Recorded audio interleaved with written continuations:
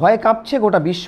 এরই মধ্যে নতুন এক গবেষণায় আসার আলো দেখাল। বিশ্ববিখ্যাত নেচার পত্রিকায় প্রকাশিত একটি গবেষণাপত্রে বিজ্ঞানীদের দাবি, করোনার ক্ষমতা শেষ হয়ে আসছে। প্লয় ঘটিয়ে ভাইরাসটি ক্লান্ত। অতি সংক্রামক ডেল্টা বা ভারতীয় ধরনের ভয়ে কাঁপছে গোটা বিশ্ব। এর মধ্যেই আশার আলো দেখাচ্ছে নতুন এক গবেষণা। বিশ্ববিখ্যাত নেচার পত্রিকায় প্রকাশিত একটি গবেষণাপত্রে বলা হয়েছে, শক্তির শীর্ষে পৌঁছেছে করোনা ভাইরাস। নিজের অস্ত্রে শান দেওয়ার মতো ক্ষমতা নেই তার।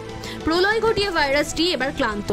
গত দেড় বছরে ক্রমাগত মিউটেশন ঘটিয়েছে নোভেল করোনা ভাইরাস বা SARS CoV two alpha beta gamma delta একাধিক ধরন তৈরি করেছে ভাইরাসটি সম্প্রতি পেরুতে ল্যাম্পটা ধরনের সন্ধান মিলেছে।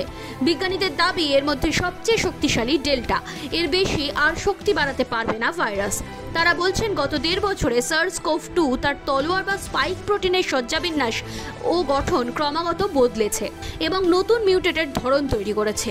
এভাবে মানবদেহের রোগ প্রতিরোধ ব্যবস্থাকে লাগাতার ধোঁকা দিয়েছে সে।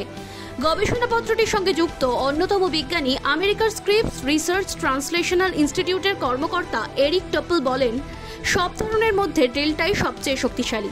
এ বিষয়ে সমর্থন জানিয়েছে বিশ্ব স্বাস্থ্য সংস্থাও। এখানেই এর শেষ বলে মনে করছেন তারা। Bureau report, NBTV.